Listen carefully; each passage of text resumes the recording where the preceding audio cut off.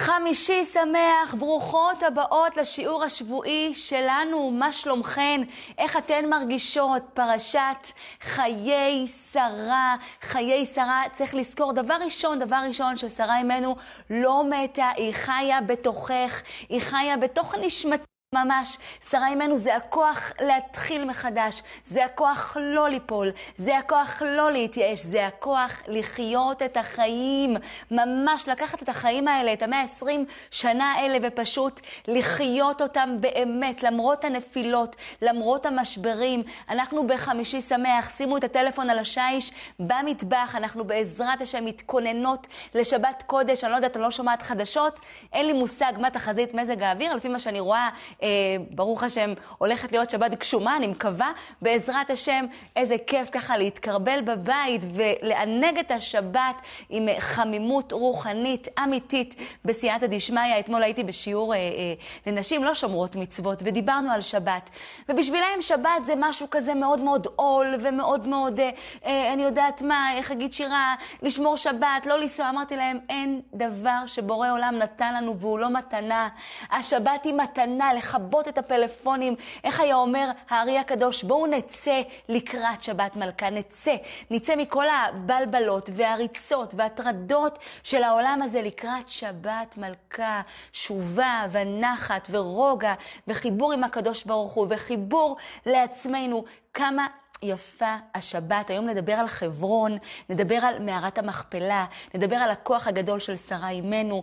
נספר uh, שני סיפורים מתוקים על רבי לוי יצחק מברדיצ'ו, וגם בסייעתא דשמיא ניכנס למטבח שלי ונכין, uh, אני לא מגלה לכם עכשיו מה, uh, ברוכות הבאות גם למאזינות החדשות שלנו בכל הלשון. Uh, אני מקווה שאתם uh, כבר מחוברות אלינו, ואנחנו מתחילות. אז כמו שאמרתי, שרה אימנו, זה כוח שנמצא בתוכנו, בנשמתנו.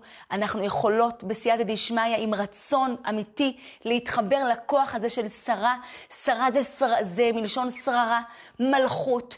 שרה נקראת גם עסקה ששוחה ברוח הקודש. מה ראתה שרה ברוח הקודש? שגם את יכולה לראות ברוח הקודש. ורש"י הקדוש מסכם יפה. את המילים הראשונות בפרשה, ויהיו חיי שרה מאה שנה ועשרים שנה ושבע שנים. רש"י בא ואומר, הוא מסכם את כל החיים של שרה בעצם, ואומר, כולם שווים לטובה. חגית שירה, איך אפשר לחיות חיים? כולם שווים לטובה.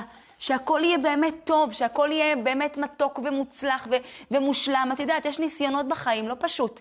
אני עוברת, בעלי עובר, הילדים. אז תקשיבו טוב, אצל אנשים רגילים, אז יש מציאות של עליות וירידות. עולים, יורדים, פעם יותר טוב, פעם פחות, פעם ימים של שמחה, פעם ימים של עצבות, או כמו שהרב וולבה קורא לזה, ימי אהבה, ימי שנאה, אצל אנשים רגילים. אבל אצל אנשים גדולים אין בכלל כזה דבר, אין מציאות כזו, כי כל נפילה שלהם, כל למטה שלהם, כביכול, כל ניסיון וקושי, זה דווקא מקום טוב, משם הם צומחים, משם הם מתחברים לקדוש ברוך הוא, משם הם עולים, זה, זו העלייה שלהם. ולכן אצל שרה אימנו כולם שווים לטובה.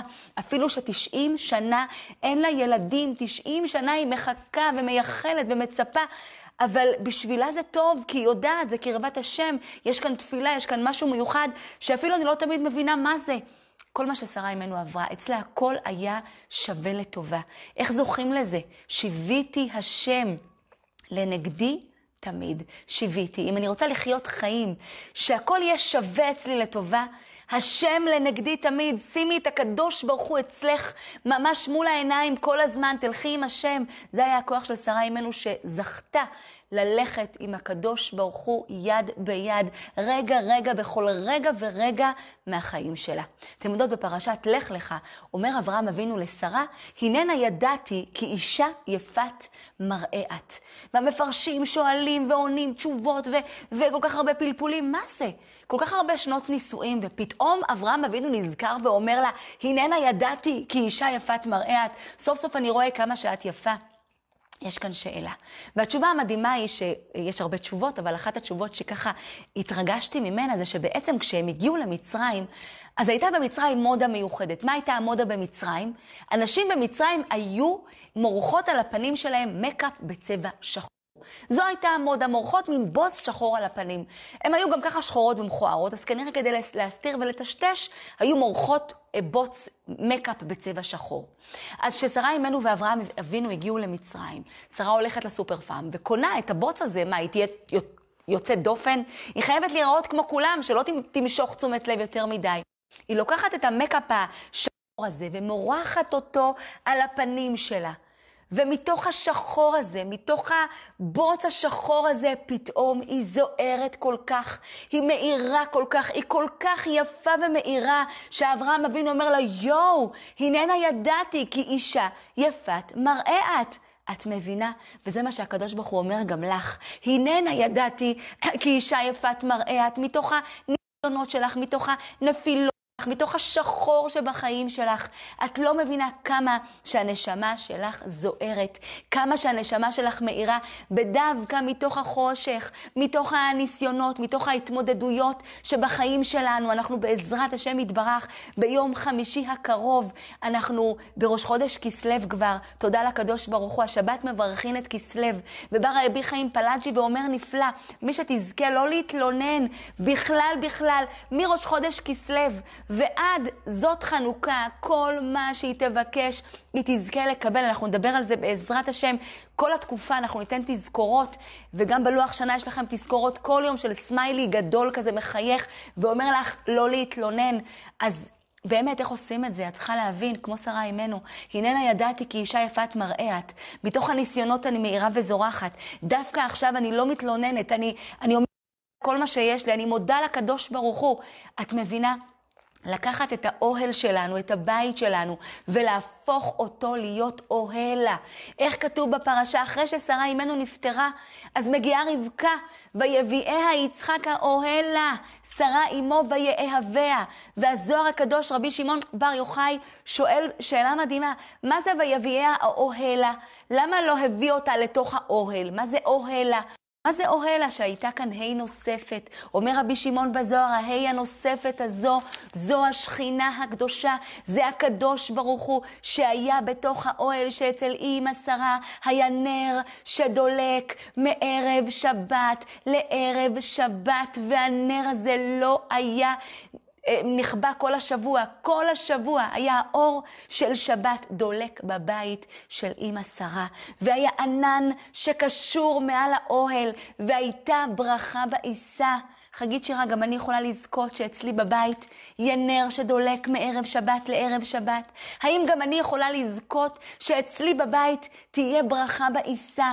האם גם אני יכולה לזכות שאצלי יהיה ענן שקשור מעל האוהל?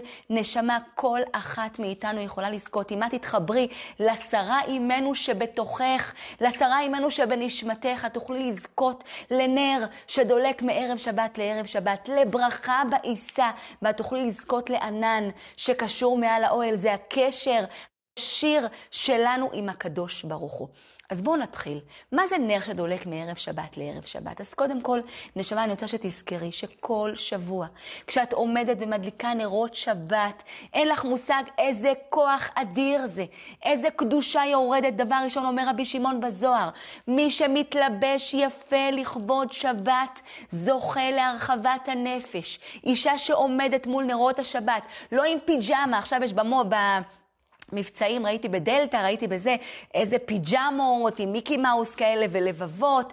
לא, לא, נשמה שלי, זה לישון עם זה בלילה. כשאת מדליקה נרות שבת, את מדליקה נרות שבת לבושה יפה, עם בגדים יפים, את עונדת תכשיטים, את מתאפרת לכבוד שבת, לא בשביל השכנה, את מתאפרת ומתלבשת ולובשת בגדים מהודרים בשביל השכינה הקדושה שמגיעה אלייך הביתה, אומר רבי שמעון, מי שתזכה להתלבש להתלבש יפה לכבוד שבת, תזכה להרחבת הנפש. זה בדיוק ההפך מצרות הנפש. מה זה צרות הנפש? זה הרבינות שלך, זה הכאבים בלב, זה המועקות, זה הרמה הזאת שיש לך כאן בפנים. כל זה יכול להסתלק ולהיעלם מהחיים שלך בזכות האור של שבת. תדעי לך, כשאת מדליקה נרות שבת כמו שצריך, את מתפללת. מול הנרות את מבקשת, מול הנרות את מתחננת, ולא סתם הוצאתי לכם את הסדר הדלקת נרות שבת הזה. אתן רואות את הדבר הזה, זה אור גדול, יש כאן כל מה שתצטרכי לרגעים הכי גדולים שבשבוע. יש כאן חיזוקים, יש כאן הסברים. מה זה נרות שבת? מה את צריכה לכוון כשאת מברכת? ברוך אתה השם אלוקינו, מלך העולם, אשר קידשנו במצוותיו וציוונו להדליק נר של שבת. יש שמות קודש שצריך לכוון בהם. זה כתוב לכם פה. יש לכם כאן את כל הסגולות לשבת, להתלבש יפה, להביט בנרות. שלהבת זה אותיות שבת להשם. את מביטה בנרות. זה זמן אדיר להכניס שלום בית, זה מסוגל מאוד לשלום בית, האור של הנרות. כשאישה מביטה בנרות, זה מסוגל מאוד לשלום בבית שלה. כל הזהיר בנר, הביין לו בנים צדיקים, תלמידי חכמים. להיות זהירה בנר, שהנרות יהיו זוהרים. פמוטים יפים, ואת צריכה להבין, זו זכות אדירה, ומי שצריך להכין את הפמוטים עם הפתילות, עם השמן זית, זה בדווקא הבעל, ובואו תשמעו דבר נפלא. מספר רבי יהודה החסיד על יהודי אחד שזכה להאריך ימים עד גיל 120 שנה. וואי, אז כולם בדקו מה, מה, מה הוא עשה. צריך זכויות להגיע לגיל 120 שנה. הלוואי עלינו כולנו נזכה ל-120 שנה. מה עשה אותו יהודי שזכה לחיות עד 120 שנה. בדקו, בדקו, בדקו, וראו שהייתה לו הנהגה מיוחדת. כך אמר רבי יהודה החסיד, שבזכות זה הוא זרח, זכה להאריך ימים. מה הייתה ההנהגה המיוחדת של היהודי הזה? שכל יום שישי היה קם מוקדם ויוצא אל השוק ומחפש שמן זית זך, מהודר, טוב, טוב, טוב, הכי משובח שיש, והיה מכין מוקדם מוקדם את הפתילות לאשתו בשמן זית, ומסדר לה את הפמוטים כמו שצריך, בזכות זה זכה להאריך ימים ושנים.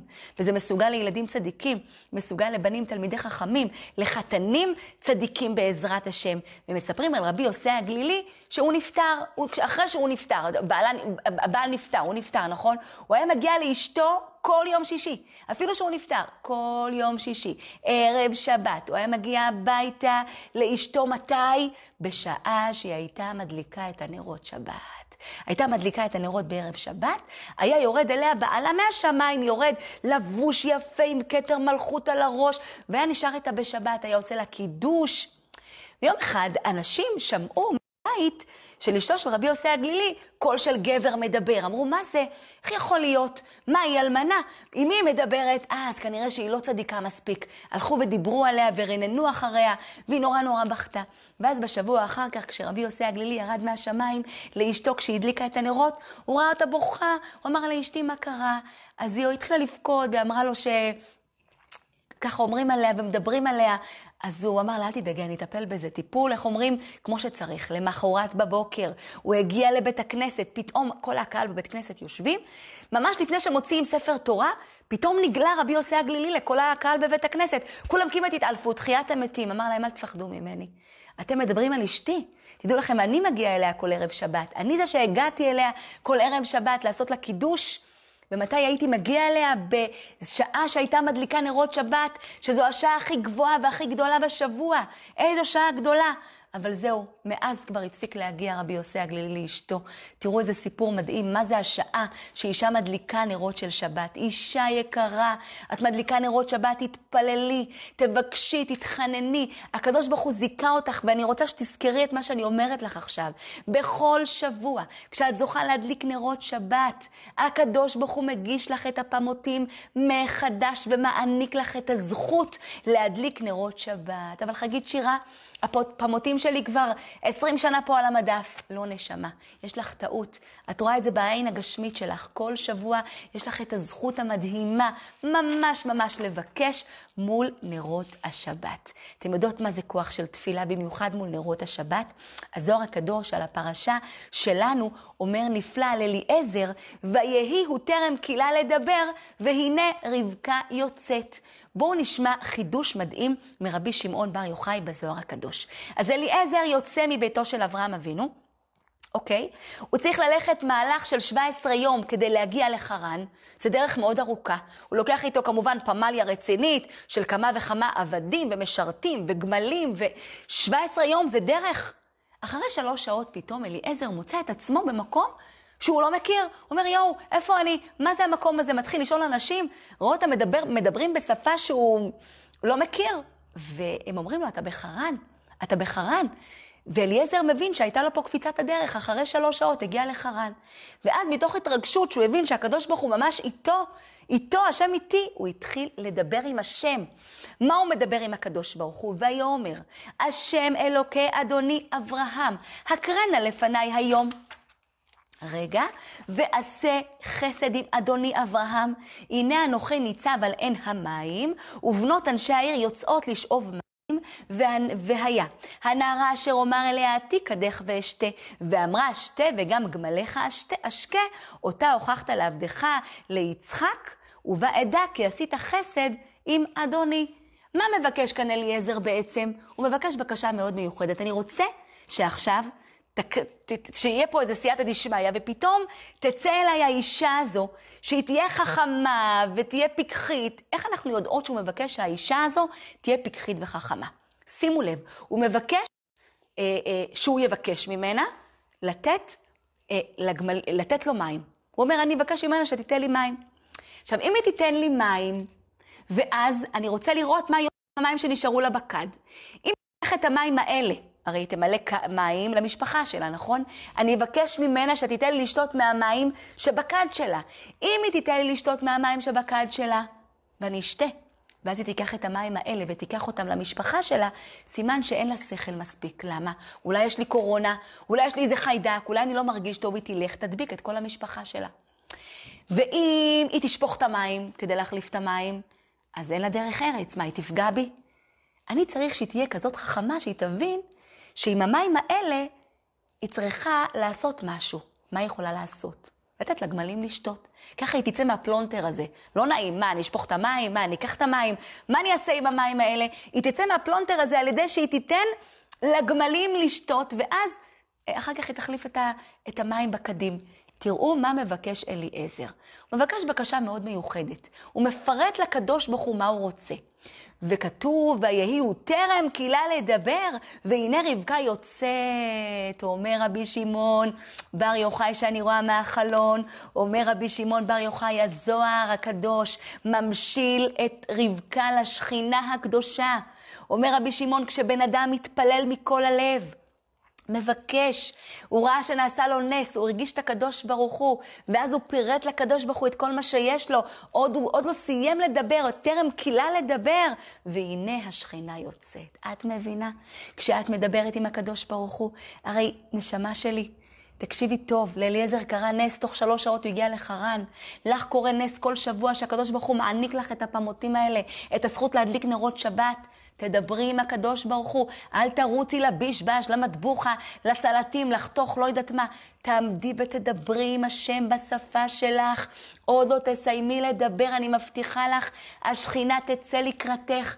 את תזכי שהקדוש ברוך הוא ימלא כל משאלות ליבך לטובה. רק תדברי עם הקדוש ברוך הוא. ואם את תזכי להדליק נרות שבת בצורה כזו מיוחדת, לבושה יפה, לדבר עם השם, להביט בנרות בעזרת השם, ואגב, יש סגולות נפלאות לנרות, זה תראו בסדר אה, אה, הדלקת נרות שבת. תדעי לך שאם את תזכי לעשות את זה, הנרות אצלך בבית יהיו דולקים מערב שבת לערב שבת. ומה זה עוד נר שדולק מערב שבת לערב שבת? שבבית שלך יהיה אור נשמה, לא חושך. תפסיקי להיות אימא מתלוננת, אימא מקטרת, אימא עצובה, מעצבנית. לא, אני רוצה אותך אימא. עצמך. תכניסי אור הביתה, תכף כסלו, תכף כסלו, תכף החודש של האור מגיע אלינו. את צריכה להיות שמחה, מאירת פנים, וזה יחזור אלייך בעזרת השם ובסייעתא דשמיא. עכשיו, מה זה ברכה בעיסה? ברכה בעיסה זו פרנסה, ברכה בעיסה זו עשייה. הרי אין עיסה שלא קדמה לה הכנה. לשנו, שמנו את החומרים, ניפינו את הקמח, נשמה, צריך לעשות. צריך לזכור שצריך לעשות. עכשיו, בואו אני ואתם נעצום את העיניים ונטוס במנהרת הזמן אחורנית, אחורנית, אחורנית, ונגיע למטבח של שרה אימנו בערב שבת. מה קורה במטבח של שרה אימנו בערב שבת? בדיוק מה שקורה אצלך במטבח. מטבוחה וחצילים ופלפלים ומושטי מרוקאים, ואם היא הייתה אשכנזית. כנראה הכינה קוגל, אני לא יודעת, או גפילטה פיש, אין לי מושג, אבל הכינה, היא חיפשה לאברהם אבינו את היא צחצחה את הבית, היא התארגנה לכבוד שבת. אז מה ההבדל בין המטבח שלה למטבח שלי? מה ההבדל בין הבצק של אימא שרה לבצק שלי, מה הבצק שלי תופח ככה, ושל שרה אימנו תופח עד לשמיים? לא נשמה.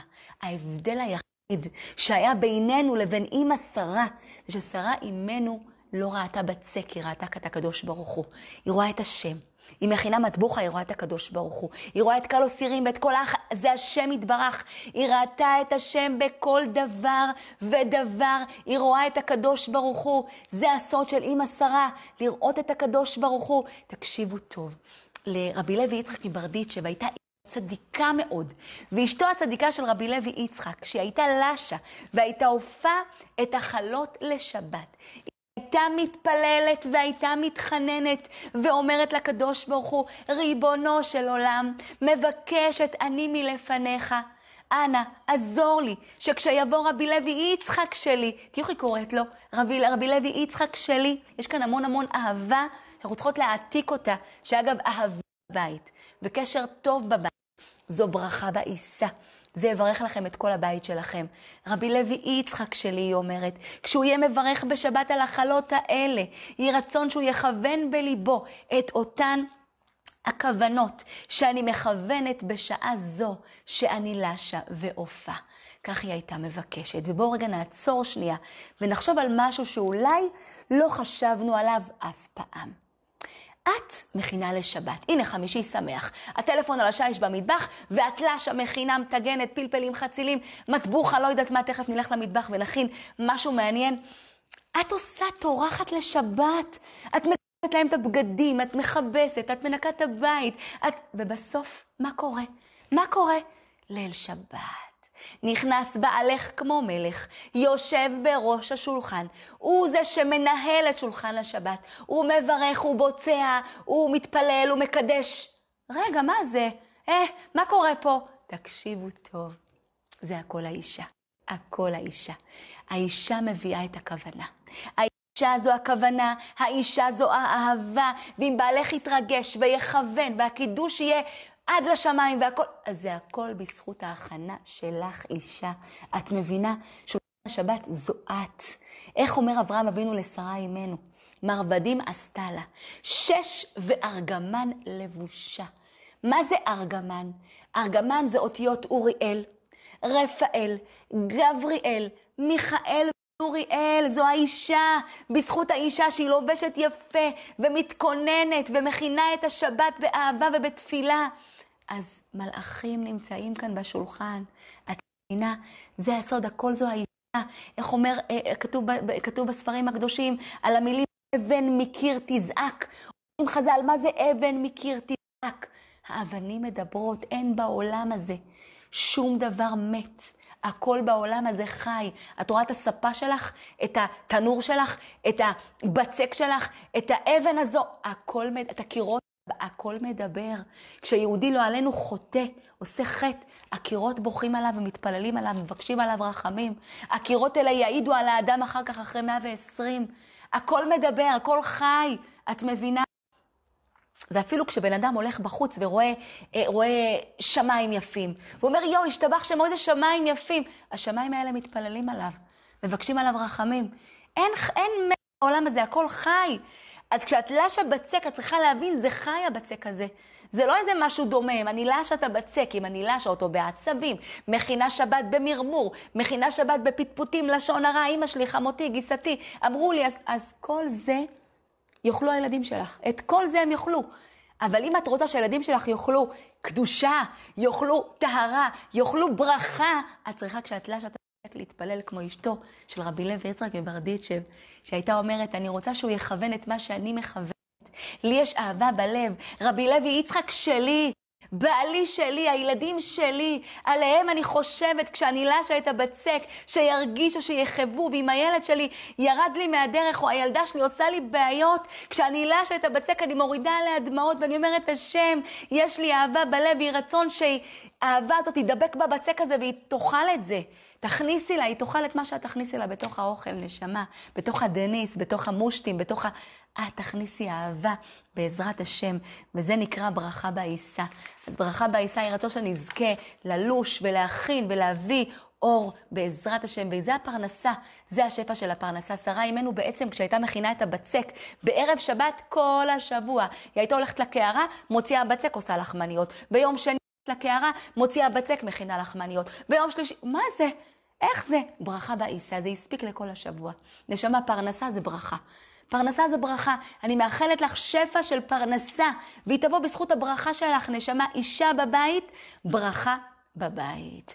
ומה זה ענן שקשור מעל האוהל? הענן שקשור מעל האוהל, אומרים חז"ל, זו מצוות טהרת המשפחה שמאירה את כל הבית שלנו. ענן שקשור מעל האוהל זה הקשר הישיר שלנו עם הקדוש ברוך הוא. מצוות טהרת המשפחה, אהובות שלי, זו המצווה הכי יקרה והכי חשובה בעולם, והיא לא פג אין כזה דבר פג תוקף. זה הבנות שלך, זה הנכדות שלך, זה הכלות שלך, זה הנינות שלך. אישה יקרה, כל זמן שאת זוכה לקיים את המצווה הזו, תעשי את זה בהתרגשות ובהתלהבות ותתפללי עליהם. תגידי, רצון שהבנות שלי, הנכדות שלי, הכלות שלי, כולם יזכו להתרגש ולקיים את המצווה הזו, כי היא צינור ישיר שפותח שפע משמיים, שפע גדול משמיים. וענן שקשור מעל האוהל. זה הקשר שלנו עם הקדוש ברוך הוא, זה לדבר עם השם, זה לזכור ולהבין שהקדוש ברוך הוא זמין בשבילנו 24 שעות ביממה. הקדוש ברוך הוא לזכור שהוא הרופא הכי גדול, המנהל הבנקים העולמי, היועץ הכי גדול, השדכן הכי גדול, כל יכול. ומה שמיוחד אצל הקדוש ברוך הוא, שלא צריך לקבוע אצלו פגישה. וגם לא להזמין אצלו תור מראש. הוא זמין בשבילנו 24 שעות ביממה. רק להרים את העיניים ולקרוא לו בסייעתא דשמיא. את צריכה כל בוקר לקום, לקשור את הענן הזה על האוהל שלך, את הענן של הקשר עם הקדוש ברוך הוא, ולא לתת לענן הזה לעוף ברוח, לא לשכוח את בורא עולם, לדבר איתו כל הזמן, להכניס אותו לבית שלנו כל הזמן, וכך נזכה בעזרת השם לענן שקשור באוהל שלנו, בעזרת השם יתברך. אז השבת הזו, היא שבת אה, חיי שרה, שבת חברון, כך מכנים אותה. שבת שהרבה הרבה יהודים נוסעים לעיר, לעיר הקודש חברון, שאגב חברון, יש לנו ארבע ערי קודש, אה, ירושלים, ראשונה במעלה, אחריה חברון, אחריה צפת ואחריה העיר טבריה, וצריך להבין מה זה ערי קודש, מה, מה העניין של ערי קודש. אז כמו מלך שיש לו ארמון גדול גדול, ויש לו כל מיני ארמונות קטנים בתוך המדינה. כשהוא יוצא למדינה, הוא, הוא תמיד משתכן בארמונות היוקרתיים שלו. יש לו בכמה, בכמה פינות במדינה שלו. אז זה בדיוק אותו דבר. תדעו לכם, הקדוש ברוך הוא, כשהוא יורד, אז ירושלים, חברון, צפת וטבריה, זה כביכול מקום שהוא אה, קשר גדול עם הקדוש ברוך הוא. לדבר על חברון עכשיו, נדבר על המערה הזו, מערת המכפלה, ונשמע מה אומר לנו רבי שמעון בר יוחאי. אז בשבוע שעבר בפרשת וירא, כששלושת המלאכים מגיעים לאברהם אבינו, והוא רץ לקראתם ורוצה לכבד אותם, אז הוא רץ אה, אה, אל הבקר, כתוב, רץ אברהם, הוא ממש אה, הלך, ולמה הוא רץ? למה הוא רץ אל הבקר? כי היה שם איזה בקר אחד קטן, שבעצם זה היה המלאך מיכאל שהתחפש, שהבקר הזה, אברהם אבינו רצה דווקא אותו. אני אשחט אותו כי אני רוצה, הוא נראה לי משובח. ואל הבקר רץ אברהם, הבקר אותיות הקבר. אז הבקר הזה רץ, מיכאל, אה, אה, אה, המלאך מיכאל רץ, רץ, רץ, ומגיע למערת המכפלה, ואברהם אבינו נכנס לתוך מערת המכפלה. פעם הראשונה בחייו, הוא נכנס למקום שכשמסתכלים עליו מבחוץ, רואים אותו חשוך ורואים אותו, אין לו שום דבר מיוחד. פתאום כשאברהם אבינו נכנס פנימה, הוא מריח שם ריח של גן עדן, הוא רואה שם אור גדול גדול גדול, והוא לא הבין מה זה, מה זה המקום המיוחד הזה, מה זה המקום הקסום הזה, ואז הוא שומע בת קול שאומרת, אדם וחווה קבורים כאן, ואברהם ושרה עתידים להיקבר כאן. אברהם אבינו מתרגש, הוא מבין שהוא הגיע למערת המכפלה, הוא ידע שיש כזה מקום, הוא לא ידע איפה המקום הזה, המקום הזה היה נסתר ונעלם שנים ארוכות, והוא שומר את זה בליבו, ותדעו לכם שרבי שמעון בזוהר כותב שמאז שאברהם אבינו הגיע לראשונה למערת המכפלה, הוא היה כל פתאום יוצא השדה הזו ומתפלל שם, מתחנן שם, היה מרגיש שם ריח של גן עדן וקדושה. עפרון לעומתו לא ראה כלום במערה הזו, שום דבר. הוא ראה שם רק שדים ורוחות ומערה שהוא היה מת להיפטר ממנה. למה אברהם אבינו הרגיש ככה, ועפרון הרגיש ככה? מפני שזה לאברהם אבינו זה היה שייך, זה היה החלק שלו.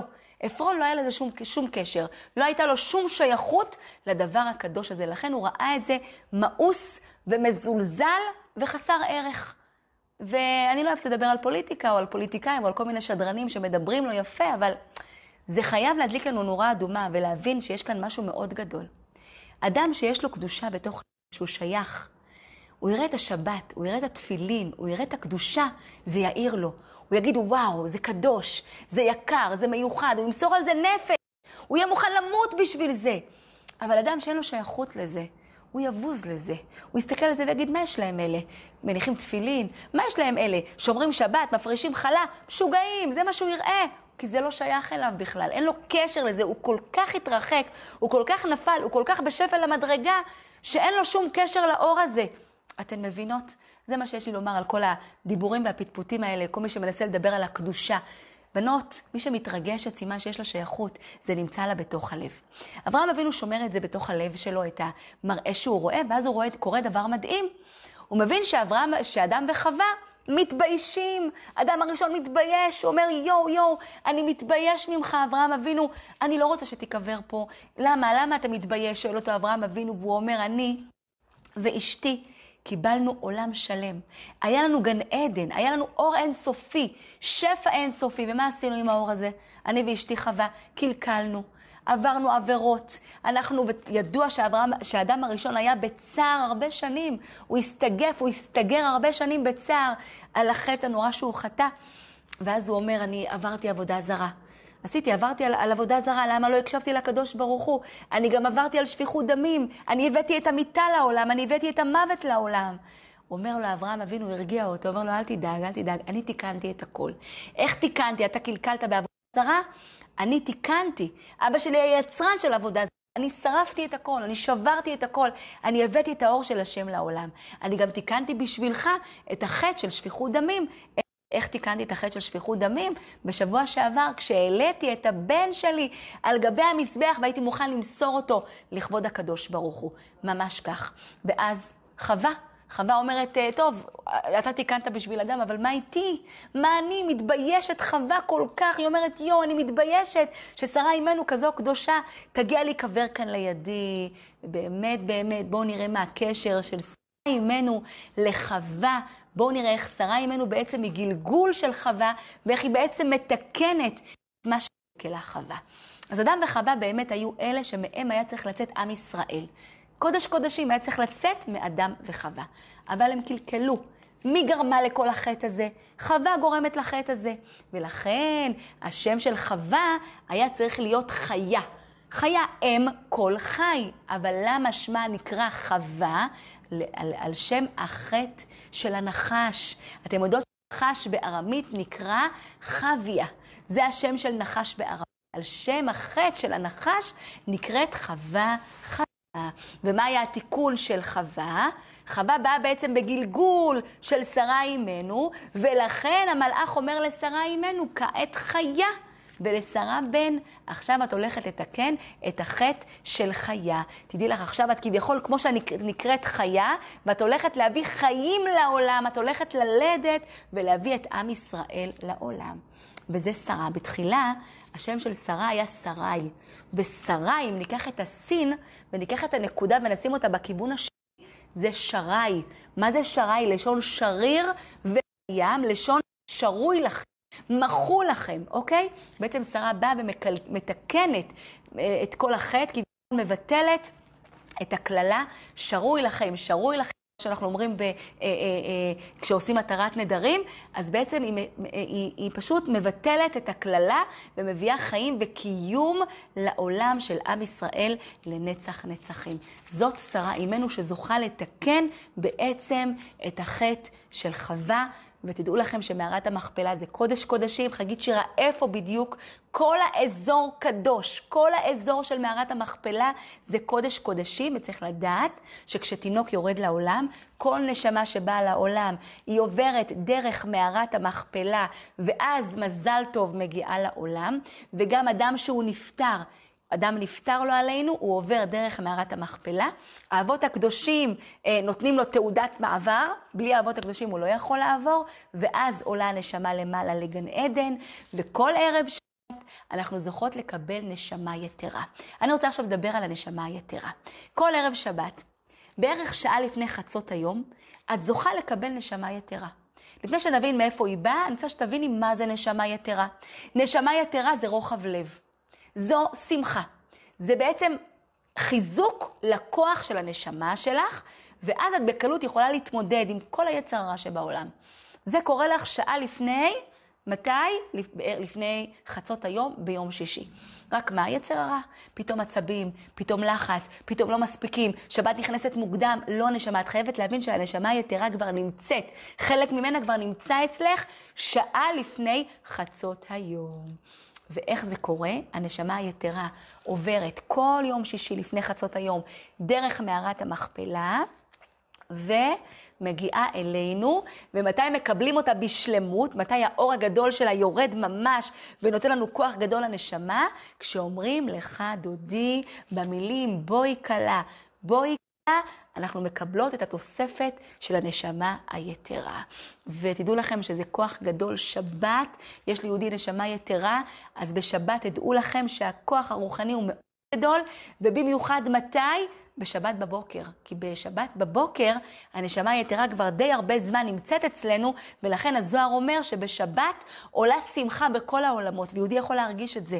ולכן התפילה של שבת בבוקר היא תפילה ענקית שבכוחה לבסייעתא דשמיא להרים את התפילות של כל השבוע, להעלות את כל התפילות. כל זה כתוב לכם בספר, בסידור שירת חיי, לפני שחרית של שבת.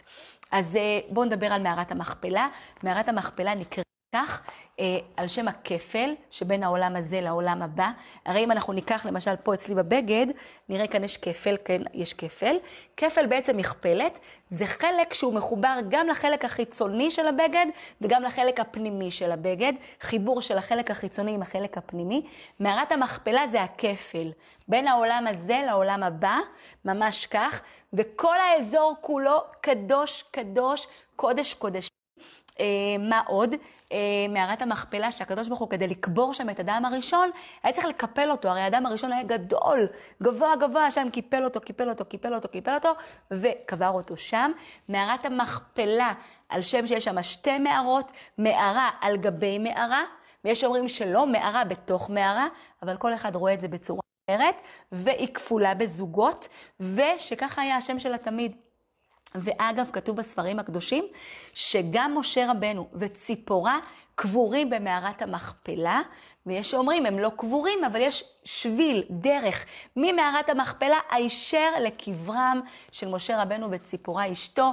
אין לנו מושג בדברים האלה, אבל יש חיבור וקשר גדול גם למשה רבנו עליו השלום. בנות, הלילה הזה, הלילה הזה ממש, הילולה של רבי אברהם אזולאי, זכותו תגן עלינו, בעל החסד לאברהם, זקנו של חידה, והוא היה איש חברה.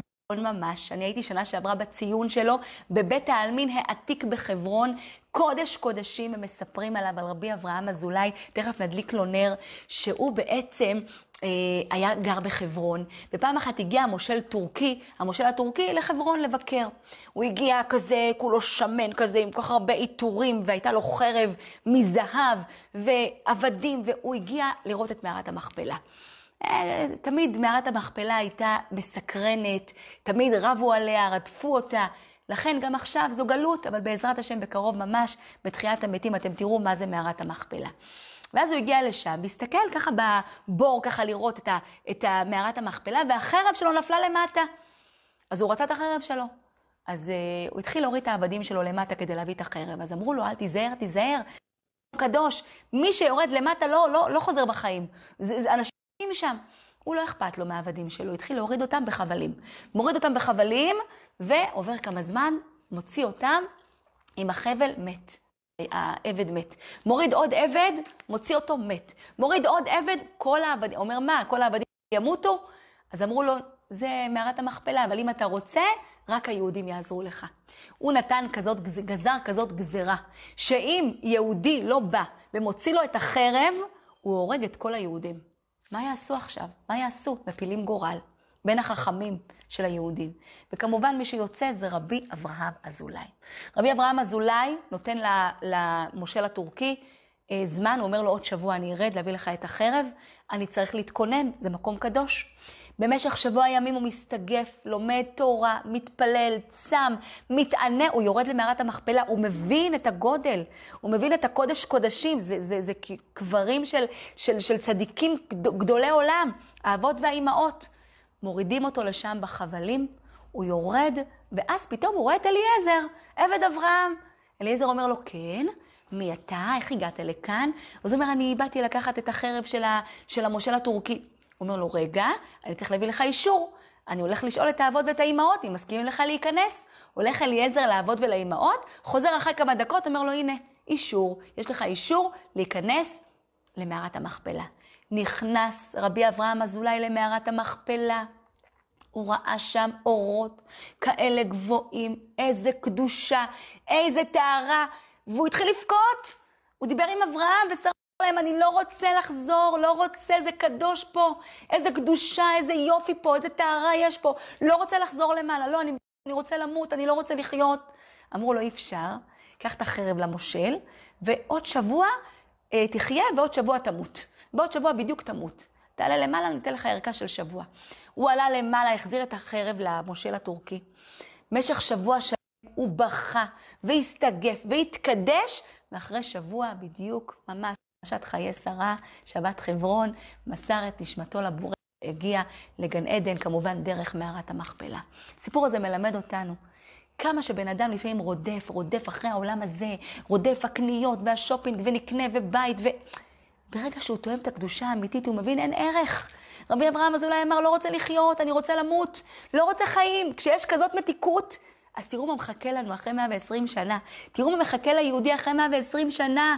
איזה עולם הבא, איזה גן עדן, איזה מתיקות. צריך האדם להתקין את עצמו כאן בעולם הזה, ולהתכונן בעזרת השם לאור הגדול הזה, ולהבין שבאמת הקדושה היא הערך הכי חשוב. אז לכבוד רבי אברהם אזולאי, בעל החסד לאברהם, זכותו תגן עלינו, נברך אתכן וגם אותי, את כולנו, שנזכה להבין את הערך של הקדושה, שנזכה להבין את הערך של הטהרה, שנזכה להבין את הערך של המצוות, של קיום המצוות. ולסיום, לפני שניגש למטבח שלי בעזרת השם יתברך, אנחנו נדבר על ה... ניתן זוהר מדהים, מרגש מאוד, אה, על הפרשה שלנו, אומר רבי שמעון בר יוחאי, ותמות שרה בקריית ארבע. בואו, בנות, יש כאן חיוך מפעים, שייתן לנו כוח איך לעלות מכל הבעיות בנפש שלנו. אומר הזוהר הקדוש, ותמות שרה בקריית ארבע. אומר הזוהר הקדוש, אברהם אבינו הוא משל לנשמה.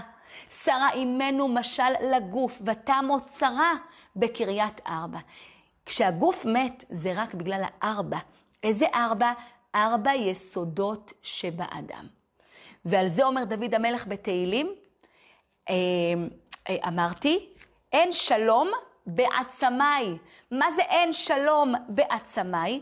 אין שלום כשאין לי שלום בפנים, כשאני מרגישה לא טוב, כשאני בדיקי, כשאני עצובה, כשנפלתי. אין שלום בעצמיי, זה בעצמי, זה בתוכי, זה בגללי, הכל קשור אליי. אנחנו, כשאנחנו נופלות בדיקי או בעצבות, אנחנו תמיד מאשימות, זה בגלל בעלי, זה בגלל העבודה, זה הוא עשה לי, זה הם, זה אף אחד לא קשור לשמה, תמיד זה בגללך. כשאין שלום, אין איזון בין ארבעת היסודות שבתוכך, אז נופלים למקומות נמוכים מאוד. את מבינה? ואם את קרה לך שאת נפלת ואת מרגישה לא טוב ואת מרגישה שאת בירידה, את צריכה להבין, זה הכל תלוי ביסודות שבתוכך. משהו כאן לא מאוזן, את צריכה לאזן את זה, וצריך האדם התבוננות. ואיך כתוב? הכל זה אני והכל ממני. הכל בגללי. ותמות צרה, אני מרגישה מתה, אני מרגישה נפולה בקריית ארבע. משהו בארבעת היסודות שבי לא מאוזן. לא שלם, לא מתוקן, בואו נראה איך עושים את זה. אז מה עם ארבעת היסודות שבתוכנו, ותכף נלך למטבח בעזרת השם? זה אש, ומים, ורוח, ועפר, ואש יש בה הרבה הרבה לא טוב. האש זה הכעס, זה התאוות, זה השתלטנות, זו הכוחנות. האש הטובה זה ההתלהבות, זה השאיפות, זה תשוקה לטוב. אנחנו לפעמים משתוקקות לטוב, בעזרת זה בא מאש פנימית וטובה. אה, מים, המים שבנו, זה תאוות, זה תשוקות טובות, זה כסף, רדיפה אחרי הממון, זה קנאה. והמים הטובים שבנו זה זרימה, זה טיהור, זה שטיפה וניקיון, שאנחנו צריכות לנקות את עצמנו כל הזמן. רוח אה, לא טובה זה התפארות, פטפוטים, דיבורים, לשון הרע, גאווה, ריחוף, את מרחפת בעולמות העליונים. הרוח הטובה זה כמובן רוחניות, זה מחשבות טובות, זה חיבור ואמונה. והעפר, היסוד העפר, שהוא יסוד, אגב, שהוא מאוד מאוד חשוב, תכף תראו איך אנחנו משתמשות בו לאזן כמעט כל דבר. אז העפר במקום הלא טוב זה כבדות, זה עצבות, זה עצלות, זה דיכאון, והעפר במקום הטוב זה רגליים יציבות על הקרקע, זה הכוח להתאמץ. ואני רוצה שתביני שאם אחד מהם, מהיסודות האלה, לא מאוזן מספיק טוב, אנחנו מרגישות נפולות. אז אם את, ואתה מוצרה בקריית ארבע, את מרגישה פתאום שאת ממש מתה, אין לך כוח לשום דבר, את מרגישה כבדות על הפנים, אין אנרגיה, אין מוטיבציה, שבי ותבדקי מה מהיסודות שבך לא מאוזן.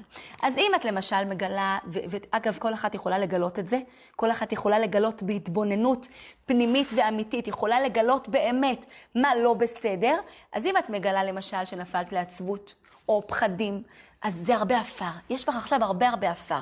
מה תעשי עם כל העפר הזה? אני עכשיו נפלתי, אני, העפר אצלי עכשיו בשליטה. מה אני עושה? אני משקה את העפר הזה במים. איך אני משקה את הזה, את, ה, את עצמי במים, אז בעצם אני שוטפת את זה החוצה. הרי מים זה שטיפה, זה זרימה, זה לקום ולעשות משהו, זה לזרום עם החיים, וגם רוח יכולה להיות טובה עכשיו, כי הרוח בעצם יכולה לפזר טיפה את האפר הזה. רוח זה רוחניות, קומי תתפללי, תעשי משהו, תעשי משהו רוחני, זה יעזור לך מאוד מאוד להתרומם. אם את גילית שאת יותר מדי אש, למשל, כעס, עצבים, אני יודעת מה, שוב האפר יעזור לך. האפר יש לו כוח לשכך ולהנמיך את הלהבות. עפר זה יציבות, רגליים על הקרקע. אני מבינה, זה לא היא עשתה לי, זה, זה לא בעלי, זה הקדוש ברוך הוא. אני עכשיו כל כולי בכעס, בעצבים. אני, רגליים על הקרקע, זה מהשם. אנחנו צריכים להאמין שהכל מאיתו יתברך. אז הנה, גם האש, האפר פה, יכול מאוד לעזור במצבים של המון המון אש וכעס. אם את פתאום שמת לב שאת רוח, יותר מדי רוח, וואי, כמה אני מפטפטת, מתפארת, עפה על עצמי, יותר מדי, יותר מדי. יותר מדי חיצוניות, אז שוב, אנחנו צריכים עפר פה. עוד פעם, העפר הוא מאוד עוזר, למה? כי העפר בא ומסביר לי ומספר לי, היי, תנמיכי, תזכרי, אנוכי עפר ואפר. תגידי לעצמך, אנוכי עפר ואפר, זה הכל זה ממני, זה הכל אני. תזכרי שאת המטפלת הכי טובה לעצמך, ואם את מגלה שאת הרבה מים, יותר מדי מים, חגית שירה, אני ממש מרגישה בעצמי שהתשוקות, התאוות, אני רודפת. תכניסי רוחניות פנימה. תכניסי רוח בעזרת השם פנימה, הרבה רוחניות, תמלאי את עצמך בטוב, ושוב, גם פה עפר יכול מאוד מאוד לעזור לך. רגליים מציבות על הקרקע, לאן אני רודפת, לאן אני עפה כל הזמן, לאן אני מתרחקת. אז uh, באמת ההתבוננות של האדם יכולה מאוד מאוד לעזור.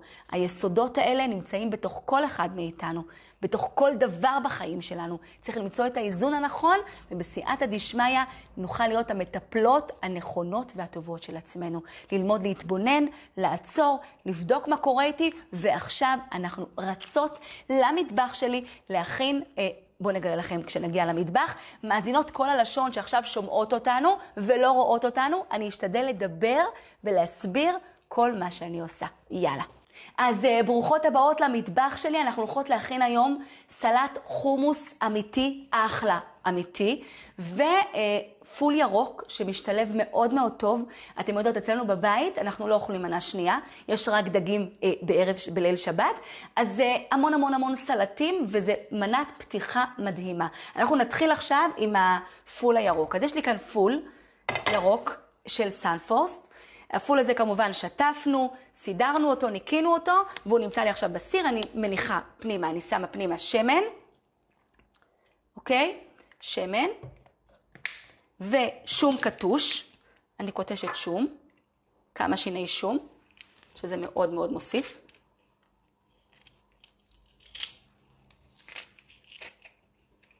רגע, אני אלך להביא אה, אלך כף. הנה. כמה שיני שום אני קוטשת כאן.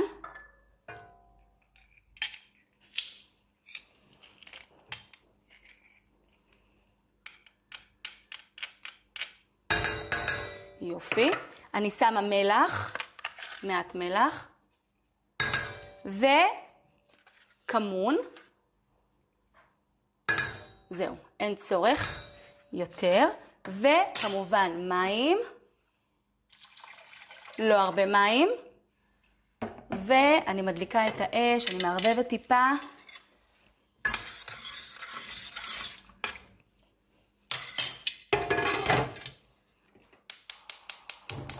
אש גבוהה. ברגע שזה מבעבע, אני מנמיכה את האש, ואנחנו עוברות לחומוס. בואו נעבור לחומוס. אז הנה, יש לי כאן בעצם אה, סיר. בתוך הסיר הזה יש כאן שתיים וחצי כוסות של גרגירי חומוס, שאני... אחד, ואחר כך בישלתי את זה אה, במשך שעתיים בערך, שעה, שעה וחצי, שעתיים, בישול על אש נמוכה. אז יש כאן אה, שתיים וחצי גרג, אה, כוסות של גרגירי חומוס משותפת. אוקיי.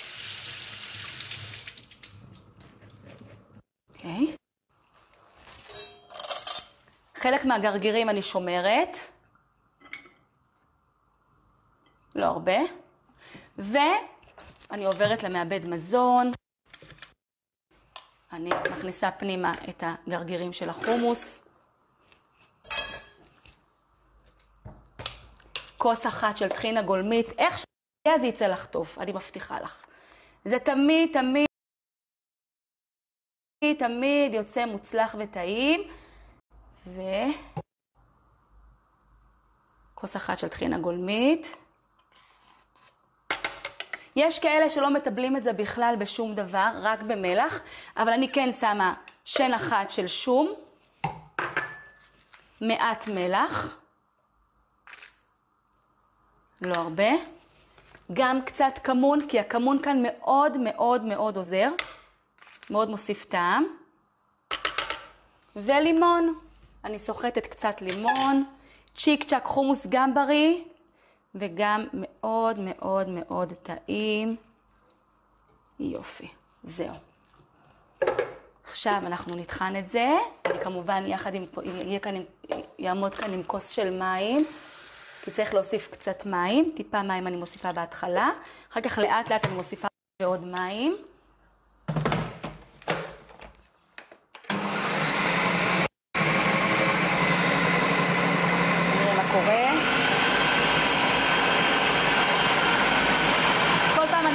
קצת מים.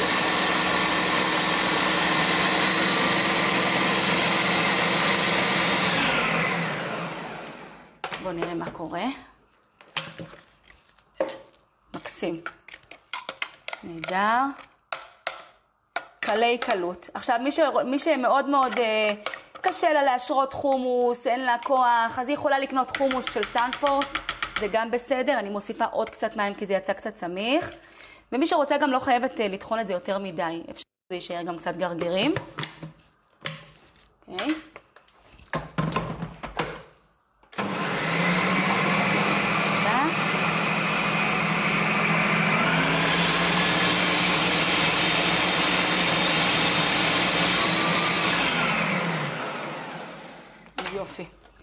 אז הילדים מאוד מאוד אוהבים, החתנים מאוד מאוד אוהבים, יצרנו כאן חומוס מדהים, משגע.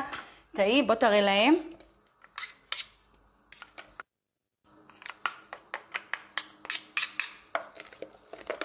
יופי. אז שימו לב, את החומוס כאן, שלי, אני לא, את החומוס שלי אני לא נותנת עד הסוף. אני משאירה שיהיה לו קצת גרגרים, זה מוסיף המון המון אה, טעם. לא לטחון את זה יותר, זה לא יהיה ממש כמו אה, משחה. יופי. עכשיו אנחנו נצ... נצלחת את זה, כמו שאומרים בעברית. אני כמובן חי את זה בצלחת. אנחנו נעשה שתי, נצלחת את זה שתי, ש, בשתי גרסאות, מאוד מעניין. ותכף אני אספר לכם סיפור, כמו שהבטחתי לכם. אני לא אוהבת שזה מלוכלך, אני אוהבת שזה נשאר, שזה נקי. רגע.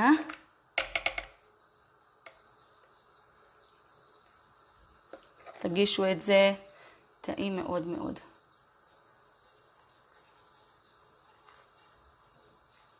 ככה. כאן בפנים אני שם את הגרגירים שיש לי, שהשארתי מראש. פטרוזיליה, מאוד מאוד חשוב, פטרוזיליה זה הטעם, כמו שאומרים. פטרוזיליה. זה ממש מנת פתיחה מדהימה לשולחן השבת שלנו. פטרוזיליה בשפע.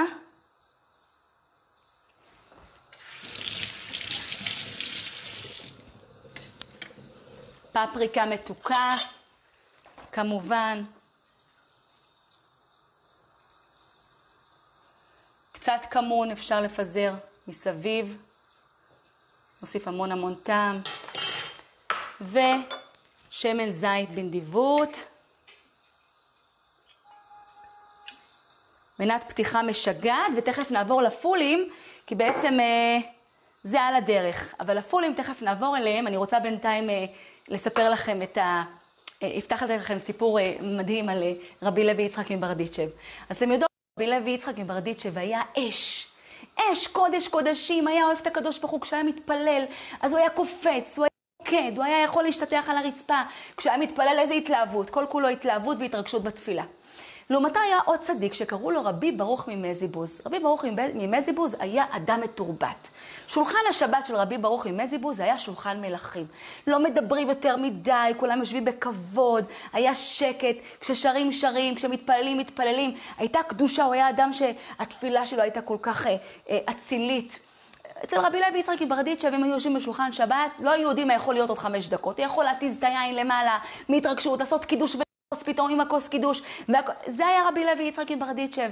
כל אחד והדרך העבודת השם שלו. בואו נראה מה קורה פה בינתיים. יופי. מקסים. אני פותחת עכשיו את מוציא, מורידה את המכסה כדי לצמצם את הרוטב. אה, אני מקווה שנספיק, שזה נספיק בעזרת השם יחד עם השיעור הזה, כדי שתראו איך זה יוצא לנו. אה, יום אחד אה, רבי לוי יצחק עם ברדיצ'ב שולח מכתב לרבי ברוך ממזיבוז ואומר לו, אני רוצה לבוא אליך לשבת. רוצה לבוא, אז, אז רבי ברוך מבזיבוז החזיר לו תשובה, הוא אמר לו, תראה, אני מאוד אשמח שתבוא אליי לשבת, אבל אתה יודע, אה, אני ואתה שונים. אני אוהב שקט, אני לא, לא אני, אני רגיש לרעש, ואתה יודע, אתה יכול לשבת אצלי בשולחן, פתאום להפוך לי את כל השולחן, אה, אה, בבית כנסת אתה יכול לקפוץ, ואתה יודע, זה לא מתאים לי. אז רבי לוי יצחק מברדיצ'וב שלח לו הודעה ואמר לו, אתה צודק. אנחנו ממש שונים, אבל אתה יודע מה? אני רוצה לבוא אליך שבת, אני מבטיח לך שאני לא אדבר כלום. אני אגיע לבית הכנסת, אני לא אתפלל, אני אהיה שומע כעונה. אתה תתפלל ואני אצא לי, יכוון ואני אצא לי אה, ככה ידי חובה. וגם בשולחן שבת אני מבטיח לך שאני אהיה ממש ממש בסדר, ואני לא, איך אומרים? טוב, כולם חיכו. לשבת הזו, הגיעה השבת. ורבי לוי יצחק מברדיצ'ב נוסע לרבי ברוך ממזיבוז. הם מגיעים לבית הכנסת והחסידים רועדים מפחד שרבי לוי יצחק לא עם ההתלהבות שלו, אבל רבי לוי יצחק כל התפילה. רואים שבפנים כל כולו קודש קודשים, רואים שבפנים הוא כולו אש קודש, אבל שום דבר, לא מדבר, רק עונה אמן, אמן, אמן, ואז מגיעים לשולחן שבת. מגיעים לשולחן השבת אצל רבי ברוך ממזיבוז, הכל זהב, הכל ערוך, איזה הכל ככה מסודר, מלצ... איזה אברך אחד היה מלצר, ומשהו ככה, ממש, איך הוא מסודר, מכובד מאוד, ורבי לוי יצחק ברדישב לא מדבר מילה. רבי ברוך ממזיבוז קם ועושה קידוש.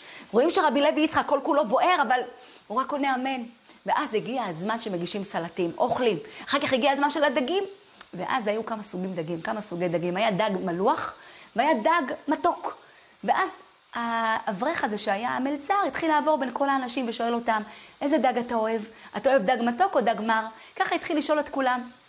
דג מלוח או דג מר? ואז הוא הגיע לרבי לוי יצחק עם ברדיצ'וב, ואז הוא שואל אותו, רבי לוי יצחק, איזה דג אתה אוהב? וזהו, הוא לא היה צריך יותר, המסכן, כל כך, כל כך מסכן המלצר הזה, לא היה צריך להגיד מילה נוספת. כי איך שרבי לוי יצחק ש... שמע את השאלה הזו, איזה דג אתה אוהב? הוא אמר לו, איזה דג אני אוהב? אני אוהב את הקדוש ברוך הוא, מה זאת אומרת, מה זאת אומרת אוהב דג? אני אוהב את הקדוש ברוך הוא. הוא לקח את המגש של הדג והרים אותו גבוה ואומר, אני אוהב את הקדוש ברוך הוא, אבל הדגים עפו לתקרה, וכל הרוטב נשפך על רבי ברוך ממזיבוז, שהיה כזה פדנט, כל הרוטב של הדגים נשפך על הטלית של רבי ברוך ממזיבוז, וכל החסידים נבהלו, מה יהיה עכשיו? הרב, הרב שלנו יהיה בצער, ולא. הם רצו מהר, הביאו לרבי ברוך טלית לבנה חדשה. אמר להם רבי ברוך, את הטלית הזו אני לא מוריד מעליי. אתם יודעים, צדיקים פעם, בשולחן שבת, היו מתעטפים בטלית, קודש קודשים. את הטלית הזו אני לא מוריד מעליי. טלית שיש בה לכלוך כזה, כתם כזה גדול של דגים, של יהודי שאוהב את הקדוש ברוך הוא כל כך, טלית כזו אני לא מוריד מעליי. ותדעו לכם שלאורך כל חייו, רבי ברוך ממזיבוז, שהיה פדנט, שהיה כל כך כל כך, אה, איך אומרים, אה, מתורבת, כל חייו. היה מתעטף בטלית כשיש עליה כתם של דגים, ואמרו לו בוא נכבס, אמר לא, את הכתם הזה אני לא רוצה לכבס, וככה הטלית הזו, אם הכתם הזה עברה בירושה מרב לתלמיד, לרב לתלמיד, ככה, ככה, ובאמת אה, קודש קודשים. והסיפור הזה בא ומלמד אותנו שיש כל מיני סוגים של אנשים. יש כאלה שעבודת השם שלהם זה באש, בהתלהבות. יש כאלה שעבודת השם שלהם זה יותר מופנם. אבל איך אומרים, רבי ברוך ידע להתמזג יחד עם רבי לוי יצחק מברדיצ'ה, ויהי רצון שנזכה לשלב את הדבר הנפלא הזה, שתהיה לנו עבודת השם אמיתית בלב, איך אומרים, רגש לקדוש ברוך הוא. הסיפור הזה באמת מאוד מרגש, ואני לא הצלחתי עדיין לצמצם את כל הרוטב, אבל אה, לא נורא. אני אראה לכם איך זה נראה, למרות זאת, בסדר? ואחר כך אני אמשיך לבשל את זה עוד קצת, לפעם הבאה. אז זה ככה. אני אזיז כאן את כל הבלגן, כי אני במטבח שלי עובדת תמיד עם אה, בלגן. ושוב, אני לוקחת חומוס.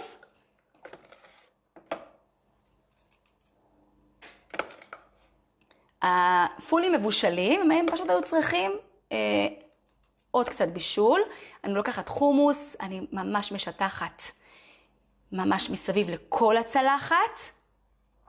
עכשיו אני מוסיפה לתוך הסיר שלנו, של הפולים, קצת לימון. צריך קצת לימון, ואם יש לי גם חרצנים של לימון בפנים, לא נורא, לא קרה שום דבר. אני שמה כאן קצת פולים ירוקים. משתדלת לא לקחת רוטב, למרות שכן יוצא קצת, לא נורא. פול ירוק. מאוד מאוד מוצלח ומאוד מאוד טעים. אני מוסיפה המון המון המון פטרוזיליה. המון המון פטרוזיליה. בנות, זו מנת פתיחה מדהימה, מדהימה וטעימה כל כך, שהילדים שלכם יברכו אתכן עונג שבת אמיתי. יופי. נהדר. וכמובן שמן זית. איך אפשר בלי שמן זית? בכמות גדולה מאוד. ואם אני רוצה לקשט, אני לוקחת קצת כמון, ומסביב, מסביב, מסביב, ושימו את זה על השולחן, וספרו לי מה אומרים הילדים שלכם. אז יש לנו כאן חומוס בגרסיים, ככה חומוס בפנים, גרגירים, וחומוס עם uh, פולים, חומוס פול כמו שקוראים לזה. מנה מדהימה, טעימה, בריאה, שווה. ואם נשאר לכם חומוס לאמצע השבוע, זה טוב לילדים לבית הספר, אה, בסנדוויץ' שלהם, תלמודי תורה, שיהיה להם כוח בעזרת השם. אז הנה, שבת חברון, שבת חיי שרה, שבת מדהימה. אז כמו שאמרתי, מה היה מיוחד במטבח שלי עם השרה? היא ראתה את הקדוש ברוך הוא. זה לא פולים, זה השם. זה לא נינג'ה, זה הקדוש ברוך הוא, זה הכל בורא עולם, הכל השם, הכל הכל. ואת מי אני אוהבת? אני אוהבת את הקדוש ברוך הוא. כך צריך יהודי לחיות. יהי רצון שנזכה בשורות טובות וכל הישועות. שבת שלום.